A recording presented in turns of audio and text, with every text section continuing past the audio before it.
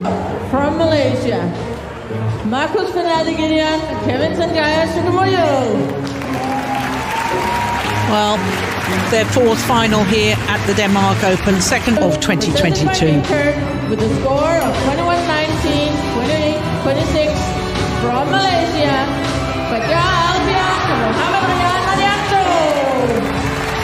master of ceremonies have just awarded Malaysia both gold and silver here. That's a little bit too much. From Malaysia, Marcus Fernaldi-Gideon, Kevin Sanjaya Sukamuljo. Well, their fourth final here at the Denmark Open, second of 2022. With a score of 21.